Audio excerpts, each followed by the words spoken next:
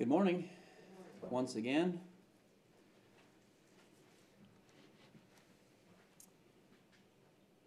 I always enjoy Sunday mornings like this, when it's like this outside. Seems like a strange thing. Because when you're in here, when we're all together, and we're focused on better things than the rain and the cold, um, you forget about all that. So, of all places we could be on a day such as this, I can't think of a, a better scenario. So, I'm glad to be here and I'm glad you're all here. Our lesson this morning is titled All the Runners. And we base that title off of a passage in 1 Corinthians chapter 9. We're going to read that together here in just a moment there at the end of that ninth chapter. It's actually a passage that probably is familiar to most all of us. But I was thinking about some concepts that related to that passage over this past week and um, decided I would uh, put a lesson together based upon that. So let's read that together. 1 Corinthians 9, starting in verse 24. Uh, the Apostle Paul, writing here through the inspiration of the Holy Spirit, he says, rather asks the question Do you not know that those who run in a race all run, but there's one that receives the prize? So he says, Run in such a way that you may obtain it. Everyone who competes for the prize is temperate in all things. Now they do it to obtain a perishable crown, but we for an imperishable crown. Therefore, I run thus, not with uncertainty. Thus I fight, not as one who beats the air, but I discipline my body and bring it into subjection, lest, when I preach to others, I myself should become disqualified. One of the things that is highlighted here in regards to being a Christian, being a follower of Christ, is that Paul likens it to starting a race. Now, as he's talking about the concept of people running in a race, he starts off the thought as we think about a typical uh, competition of that sort. You got all these people that are running, but at the end, there's just one winner. Now, that is not to say that as we think about this concept in relation to being Christians and striving towards heaven that we're all running, but only one of us is going to get there. That's, that's not what he's saying. But what he is saying is that we should have the mindset of the person that's going to win the race. That we're going to put in the work, we're going to discipline ourselves, we are going to train every day as hard as we can, take it as seriously as we can, so that at the end, when everything is settled, we receive that crown that we were running for. A lot of interesting things to think about in the words that we've looked at here. And in fact, the first point of our lesson uh, is kind of where my thoughts started as I was putting this all together. I thought maybe the lesson in and of itself would be titled Everybody Gets a Trophy. Uh, but the more I thought about things, it ended up just being one of the points of the lesson. But it's interesting because, you know, looking at what Paul explains or expresses about um, earthly competitions, athletic competitions, such as a race or a, a boxing match, he also uses that analogy there. Historically, those kinds of events just as he describes, there is just one winner, right? But over the course of time, especially in modern times, it seems that people have become more, uh, I don't know, what's the word for it? uh, sensitive or they're afraid of hurting anybody else's feelings. And so you've probably seen this phenomenon of, well, everybody gets a trophy whether you won or not. It's kind of this idea, well, if you had fun doing it, well then you still won. You're still still a winner. I have to laugh, I'm sorry. Um, obviously, training somebody with this kind of mentality from a young age can lead to disappointment when they get out in the quote unquote real world and they realize that no, that's not how the world really works, right? Not everybody gets a trophy just because they participated in something. Uh, you really do have to put in hard work and, and train to be the best you can be to succeed. Um, an example that I was thinking about in relation to this is actually one of the hymns that we sing. And as I did some research on this, I was actually kind of surprised. Uh, the hymn in its original format, we probably all know this song, When We All Get to Heaven. That's, that's how it is in the uh, Hymns for Worship book that we've been mostly using here as of late, uh, written by Eliza Hewitt. Uh, the original lyrics are just that when we all get to heaven. Now, I grew up singing that song a little bit differently. Maybe some of you did also. And you'll notice that in the Sacred Selections hymn book, the lyrics actually read when the saved get to heaven. So, as I grew up, that's how I always sang that song. And then all of a sudden, I, I moved to a different congregation and they were using a different book. It actually used what I came to find was the original lyrics, uh, when we all get to heaven. And all I could think about as I sang that different version was, well, here we go. Everybody gets a trophy, right?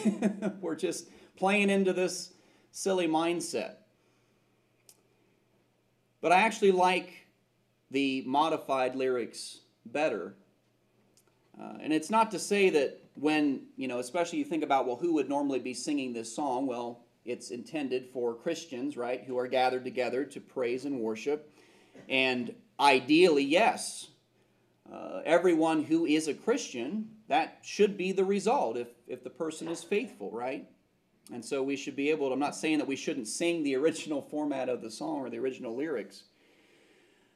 Uh, but when we study the Bible, we understand that there's a lot of work involved, right, in being a faithful Christian so as to ultimately receive the prize that we're all striving for.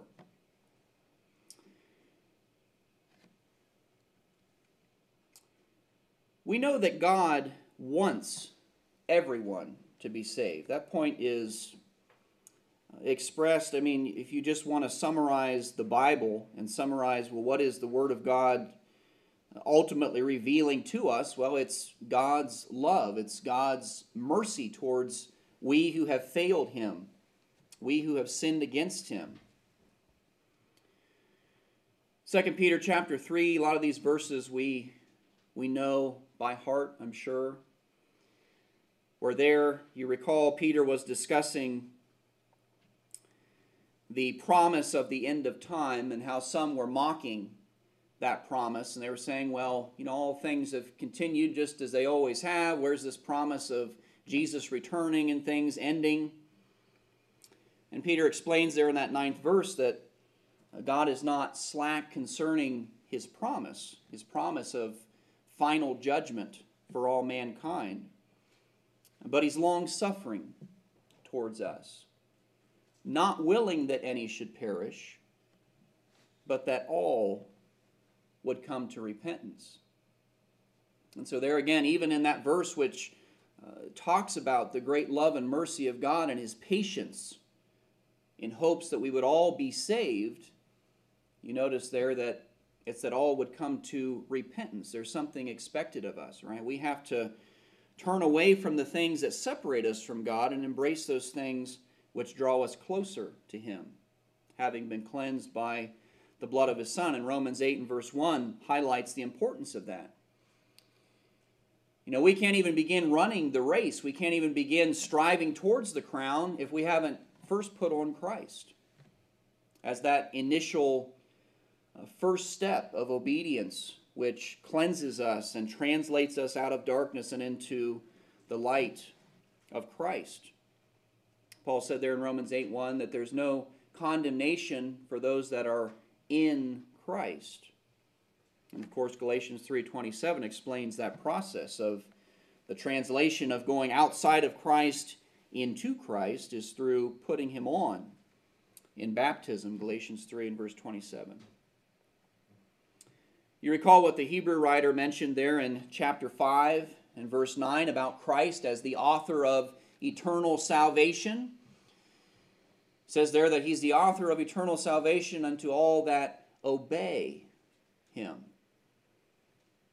God wants everybody to be saved, and He's made it possible for everybody to be saved, but it's only going to be realized by those that are willing to obey Him.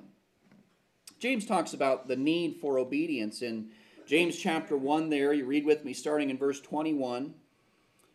He says, Lay aside all filthiness, all overflow of wickedness, receive with meekness the implanted word, which is able to save your souls but be doers of the word and not just hearers only, deceiving yourselves. If anyone is a hearer of the word and not a doer, he's like a man observing his natural face in a mirror. He observes himself, goes his way, and then immediately forgets what kind of man he was. But he who looks into the perfect law of liberty and continues in it, and is not a forgetful hearer, but a doer of the work, this one will be blessed in what he does. If anyone among you thinks that he's religious and does not bridle his tongue, but deceives his own heart, this one's religion is useless. Pure and undefiled religion before God and the Father is this to visit orphans and widows in their trouble, to keep oneself unspotted from the world. It's about action, it's about doing the will of God, not just believing it, not just even understanding it. It's about applying it. And of course, back in Matthew chapter 7, there you recall Jesus talking about the end of time and how there's going to be those that uh, are speaking to him about all the good things that they did, uh, did all these wonders and, and mighty deeds in the name of Christ, but Jesus says that it's not everyone who says to me, Lord, Lord, uh, is going to enter that kingdom of heaven, but it's the one who does the will of my Father.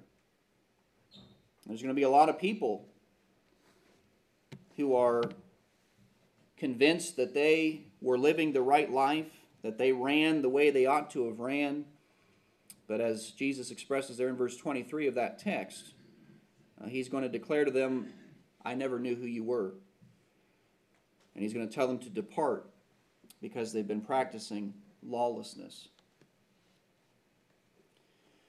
So, this, this concept of everybody gets a trophy, uh, obviously, in some senses, we can think about that and find some humor in that and laugh about it a little bit. But when it boils down to spiritual things, it's really a very serious subject. We have to understand that we have to be so very serious, as Paul again expresses in that text that we kind of noticed there at the beginning. Uh, we, we have to be disciplined. We have to be very serious about doing the will of God as He's expressed it. And that kind of leads us into our next point here. These are, you know, on your outline you have the blanks. These probably are two words you weren't expecting to fill in, but that's nonetheless what I want you to fill in there bruised and enslaved. And I'll explain why we chose those words here for our, our second point. Again, referring back to 1 Corinthians 9 and verse 27, where he says, I discipline my body and bring it into subjection, uh, lest even after preaching to others, I myself should be disqualified. When you look at the original Greek words that Paul uses there, it's, it's kind of interesting and I'm probably going to butcher the pronunciation of these. They're not the easiest of the Greek words to try and pronounce. Uh, but the word that is translated or rendered as discipline, that phrase of disciplining himself, uh, comes from the Greek word hupopiazo, which literally means to strike in the face, to hit under the eye, to buffet or disable an antagonist as a pugilist. So you remember the, the previous verse there, he talked about, he made the statement, I fight as one that does not beat the air. So he'd been talking about the concept of a, of a race and running a race, but then he also uses that analogy of a fighter, a boxer, who, if undisciplined, untrained, uh, is going to go out there swinging his arms and not hitting anything. So, in contrast to that statement of, I fight as one not beating the air, he says, I discipline my body. The word here is to strike with purpose and meaning and seriousness so as to disable the antagonist, right, in a, in a match. And the interesting thing about it, though, is that when we think about this in relation to ourselves as Christians, who are we fighting? Now, we might say ultimately it, it boils down to we're fighting against Satan, right? We understand that. But really, we, we should think about it as fighting ourselves. And we have to be pretty brutal with ourselves if we really want to be successful in doing the will of God. We have to be willing to punch ourselves in the face and bruise up the eyes and say, You're not going to do that. You know, this is against the will of God. We're not going to entertain these thoughts anymore. We're not going to go this direction anymore. We're not going to hang out with these people over here anymore because these things lead us where God doesn't want us. The other word that's used there in that sentence, which is rendered to bring into subjection or to enslave, is doulagogeo, uh, which has the idea of being a slave driver behind it in the definition. Which we think about that concept and we think about history and some of the things that have gone on, and it's pretty negative connotations related to that, that concept, obviously. But again, as we think about in relation to ourselves and how we have to discipline ourselves, um, not only do we have to be harsh and very um, blunt with our thoughts and our actions and whether or not those match up to what God wants, but we have to be diligent about doing that, don't we? You know, a slave driver, you picture somebody uh, with a whip and they're just relentlessly beating on that slave, uh, prompting them to do what they're being instructed to do. We have to be that way towards ourselves. You know, you think about um, the concepts of, you know, exercising, dieting. A lot of times with a diet, you have your, your cheat days, right? Oh, well, I've been so disciplined for, you know, the past six days, and now it's the seventh day, and I'm going to have my cheat day, right? I don't have to follow the diet today. But when it comes to spiritual things, we, we can't let cheat days slip in there, can we? That's not what Paul's teaching us here. He's not saying, well, be real serious. Once in a while, you can, you know, go out here and have some fun. You know, that's fine. No, he's not. He's not saying that. We have to be very diligent every single day, denying our flesh the desires that it has, uh, denying our eyes from looking at this thing or that thing, etc resisting the urge to prop ourselves up and give in to the pride of life, right? Let's notice a few, few verses on, on this point. Let's come back, uh, first of all, to Proverbs. Look there with me in Proverbs chapter 20 and verse 30, and notice what the proverb writer says there. He says, Blows that hurt cleanse away evil as do stripes the inner depths of the heart. And we think about that maybe in relation to um, being children and growing up and being disciplined by our parents, right? When you receive that discipline, that pain, uh, it makes you not want to go and do that anymore, right? I don't want to have to go through this punishment again, so I'm going to change my behavior. And that's basically what he's saying here but we can make application to, to self as well. Romans 12 and verse 1 is all about the idea of disciplining self. Consider yourselves to be living sacrifices, you recall, Paul says there. Giving up our desires, giving up what we want so that Christ can be glorified rather than ourselves. Let's come over here to Matthew chapter 16.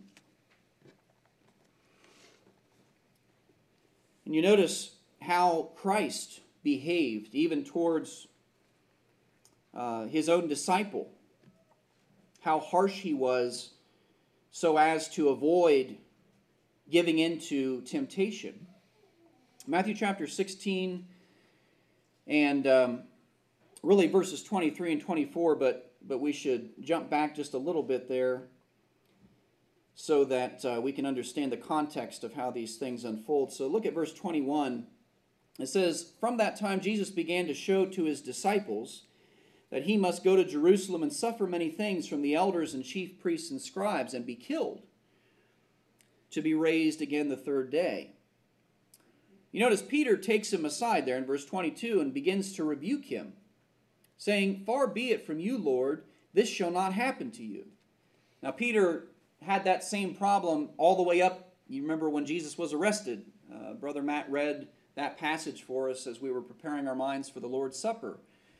And Peter, even then, was drawing his sword. Nope, this isn't happening. I'm not letting this happen. Resisting ultimately what God's will was in the matter and why Jesus came to begin with, you see. And notice how Jesus responds to that. Now, again, keep in mind that where's Peter's heart in all of this? Is he trying to do something bad? Does he have bad intentions behind what he's saying to Jesus? No. Nothing but good, right? He, he doesn't want anything bad to happen to Christ, and he's determined in his zeal to not let anything bad happen to him. He wants to defend his Lord. But again, he's not understanding the mission. He's not understanding why Jesus came and, and why these things he's explaining have to happen. So Jesus turns and says to Peter, Get behind me, Satan. You're an offense to me. You are not mindful of the things of God, but the things of men. And he goes on from there to begin teaching them about what it means to follow him, which uh, really plays into his response just a moment ago to Peter. If anyone desires to come after me, he has to deny himself and take up his cross and follow me.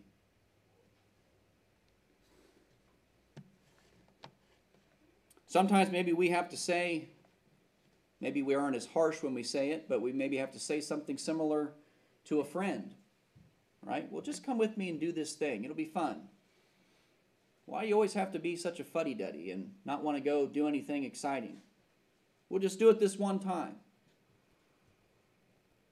Now, how do we respond? Do we, okay, fine, I'll go just one time though, and then that's it? Or do we have the attitude of Jesus? and that discipline and that self denial. Recognizing that this is Satan trying to tempt us, trying to pull us off the path. Get behind me, Satan. You are an offense to me. A lot of times we have to yell at ourselves, though. Again, coming back to that point. You could be driving down the road in your car all by yourself, and thoughts will creep in your mind. And you have to yell at yourself Get behind me, Satan. We're not going to entertain these thoughts. We're not going to have these things going through our brains because that's how it leads to action. That's how it leads to sin. Of course, in Luke chapter 4 and verse 8, uh, another occasion where Jesus, uh, directly speaking to Satan on that, uh, at that time when he was tempted there in the wilderness, and Satan was like, hey, look, just bow down to me, and I'll give you all the kingdoms of the world, all the riches you could ever want. And he said, Get behind me, Satan. We need to learn from Jesus in this respect and, and make application. Let's come back here to the Psalms. Uh, look at Psalm 101. A couple verses here that I think, again, correlate well with the thought that we're bringing out. 101st Psalm there and looking at verses 3 and 4, notice the determination of David here. He says, I will set nothing wicked before my eyes. He says, I hate the work of those who fall away, and it shall not cling to me. A perverse heart shall depart from me, and I will not know wickedness. The thought here reminded me of what Paul said in Romans 12 and 9, uh, where he talks about love being without hypocrisy. He says, Abhor what is evil and cling to what is good. To abhor something is, is to completely and utterly detest it. And so, if God says something is evil, then our attitude towards that thing should be repulsion. As though somebody were trying to serve us a chicken pot pie made out of vomit. Let's go back to that analogy. I just got the eye roll from Carla. it's disgusting, right? We don't want any part of that. That's gross. We're not going to eat that. But sadly, when it comes to sin, sometimes we ignore certain things, right? We, we deceive ourselves into thinking, well, somehow it's still going to be good. Somehow it's going to be what I want. It's going to get me satisfaction somehow. It's, it's, we have to be more serious. And obviously, as, as I was thinking about the thoughts of this lesson, putting all this together, I kept uh, thinking about Forrest Gump. You've probably seen that movie. If you haven't seen it, you've probably seen clips of it or seen quotes from it or something of that nature. But you know, there there's a portion of the movie where uh, he he just for whatever reason, as he describes it there, he says, "I just started running." he just kept going. He said, I got to the end of the road and said, Well, I might as well keep going. And he ran to the end of the town and said, Well, I don't know why I'd stop here. And so he kept running and ran to the end of the next town and turns into this whole humorous thing where for years he's just going back and forth across the country and he gets this following of people that are running with him, right? And it's funny. And then just out of out of the blue, they're out in the middle of the desert somewhere on a highway, and there's all these people following him and he just stops and it gets real quiet and you hear somebody in the crowd say quiet quiet he's going to say something and all of a sudden he kind of turns around and he's like i'm pretty tired think i'll go home now we can't do that as christians can we again it kind of goes back to the the concept of we're going to be blunt we're going to be willing to hit ourselves in the eye and knock some sense into ourselves if we need to we use the Word of God to do that, obviously. But also, we're that slave driver. We're diligent. Because sometimes you do get tired, don't you? Sometimes you just want to have a day where you just, can I just stop running today and just sit down? But we can't. Because as soon as you do, that's when the lion pounces. Remember what Paul said there in Galatians Galatians chapter 6 and verse 9. He says there, Let us not grow weary while doing good, for in due season we shall reap if we do not lose heart. And I also always think about, on that point, I think about what Isaiah expressed back in Isaiah chapter 40 right at the end of that chapter, verse 31. It says there that those who wait on the Lord, concept of not just trusting God, not just being patient with God, but I like to think of it like we talked about in a, lesson not long ago uh, waiting in the sense of, of patient service. Those who patiently serve the Lord, notice, shall renew their strength. I don't know if you've ever, maybe you've actually been physically running or you've been engaged in some kind of exercise and you get that second wind. You ever had that experience? Where you're real tired and you're like, oh, I don't know if I can keep going. Then all of a sudden you just kind of, all right, I can do this, I can do this. And you kind of get another burst of energy and, and you push through to the end of the exercise or whatever it is. That's how it is for us spiritually. We get tired we get worn down. But if we trust in God and we, we lean upon His strength, it says that our strength's going to be renewed. We're going to mount up with wings like eagles. We'll run and not be weary. See that? We'll walk and not faint. Trust in God, and He will supply your every need. But we have to be serious and disciplined in the process. Our final point this morning is stay on the path. Stay on the path. You ever been driving down the road and all of a sudden you come upon, I like to call them a flock of runners? and they're just taking up the whole road, right? And you're thinking, why don't you come over here on the, there's a sidewalk right there, right? Or there's a running path right there. You could be over there on the path. But here you are out in the road and you're clogging up traffic and getting in my way, right? Making us late.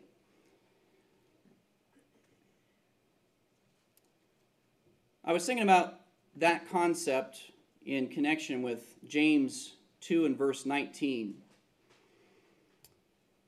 Remember what that says? James is talking about the importance of faith and works together. And he makes a statement there in verse 19 about, well, you believe that there's one God, you do well. But he says, even the demons believe and tremble. There's a lot of people that are out here in the world and they would profess a quote unquote faith in God or a faith in Christ. In their mind, they are running the race but their actions paint a different picture. You know, they're really following the doctrine of Christ. They're following the teachings of men, they're following their own opinions, whatever it is. And I thought that's a pretty good correlation there. Where you've got people, well, they're running, well, that's good, but you're not on the path. You're not where you're supposed to be running. You're just out here in the way. and in fact, a lot of times when people behave that way, even ourselves, when we get off the path, we can give runners a bad name. And we don't want to do that. We want to stay on the path. We want to set the pattern for the rest of the world. Let's come back here to uh, the book of Titus for a moment. Notice some verses here.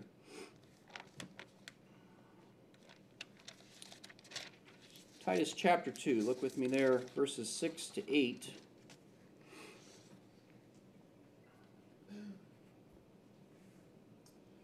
Now, in this section of Scripture, uh, Paul addresses a number of groups of people, we would say, where he talks about older men, he talks about older women, younger women, younger men.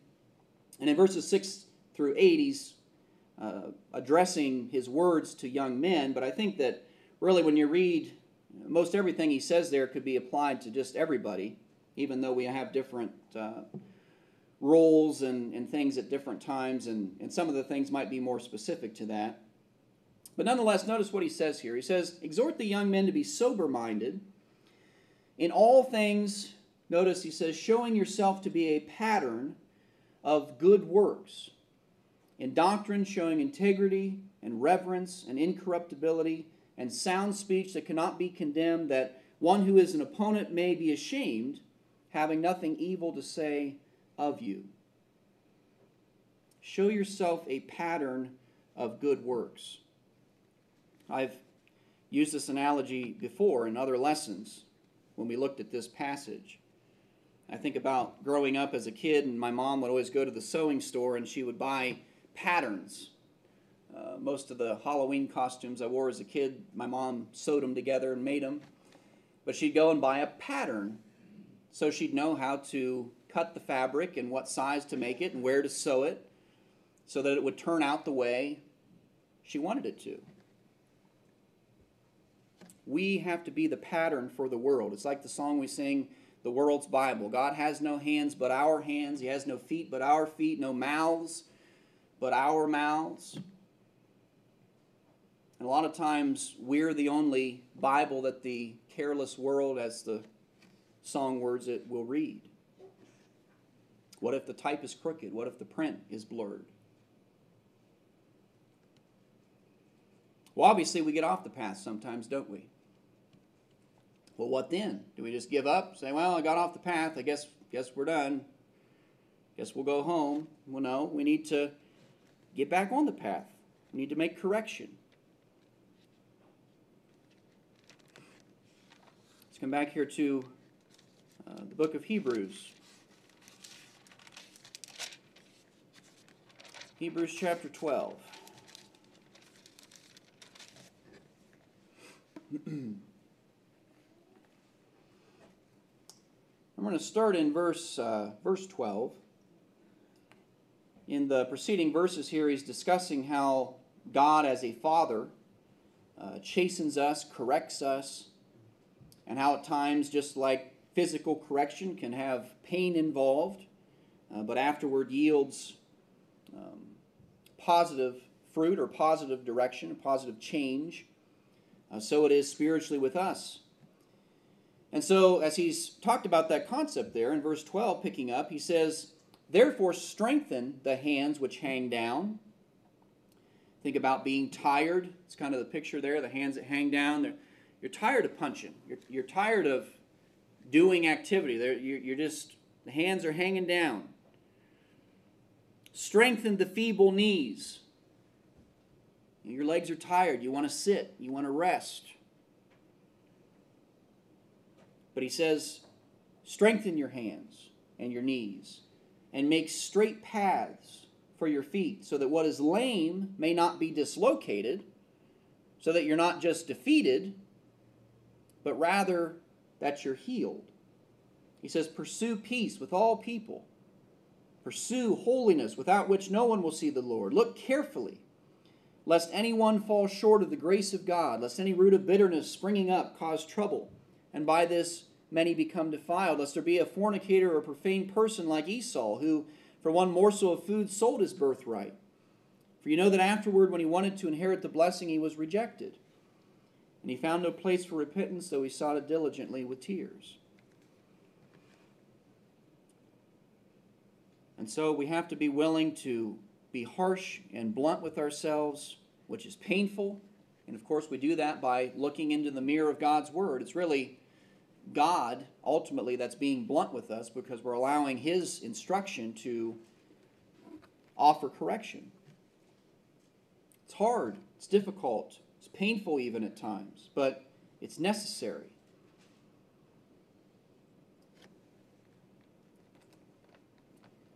Back here in Proverbs once again, looking at chapter 3. Notice there, verse 5 beginning. He says, Trust in the Lord with all of your heart. Do not lean on your own understanding, but in all of your ways acknowledge him. And notice, he shall direct your paths. He'll show you which direction to go, he'll show you where to stay, where the boundaries are that you need to be running. Don't be wise in your own eyes, but fear the Lord. Depart from evil. It will be health to your flesh, and it will be strength to your bones. I'd like to conclude our lesson today by looking at a passage that you probably were expecting to see at some point. Uh, again, coming back to Hebrews 12, but looking at the first part of the chapter. And again, thinking of the context of these words, we recognize Hebrews chapter 11 as that well known chapter of the power of faith and the heroes of faith. Sometimes we talk about it that way, where by faith Abraham, and by faith Noah, and by faith all these different ones did the will of God and were blessed as a result. And so keep that in mind as you begin to read here into chapter 12, because this is just one flowing message that the Hebrew writer is writing through the Spirit here. So therefore, we also, since we're surrounded by so great a cloud of witnesses, who's he talking about? Abraham, Noah, Abel, all those that he just talked about in the preceding chapter, all those hundreds, thousands of faithful.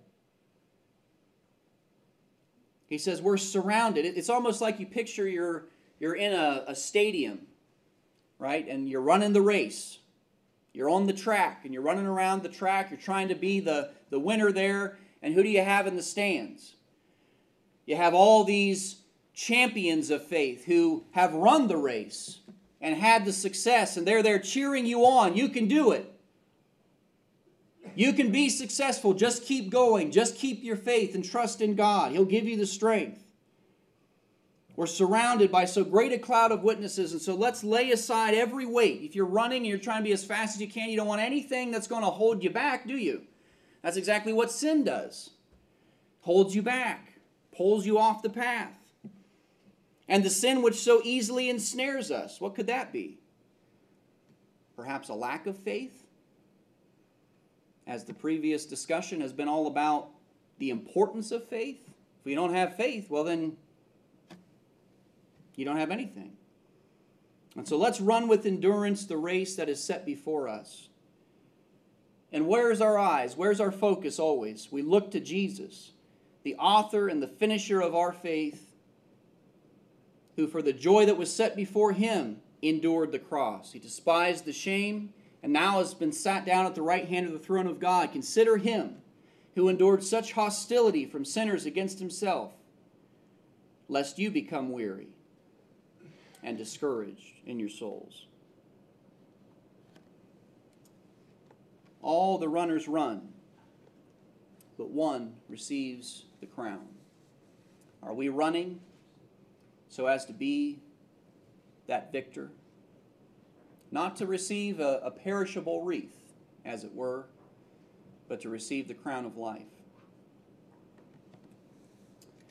The lesson is yours. If there's anyone here this morning who is in need in some way, needs to put on Christ in baptism, start the process, start running the race that has been set before us. We're ready to assist you in that process. We stand ready to assist those that maybe are struggling in some way or need encouragement.